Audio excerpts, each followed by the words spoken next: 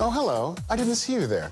This is Simon's boathouse. We found this in episode one where they banished him. Actually, Luke said, hey, come stay with me. And then Gretel said, said you could stay here, but not here, which was the Jade Wolf. Welcome to your new home. This is where he lives. This is his canoe. The only vampire in history that doesn't have a coffin but has a canoe. So this is his world. This is uh, where he almost professes his love for Clary, which is pretty sweet. I'm enjoying our together time.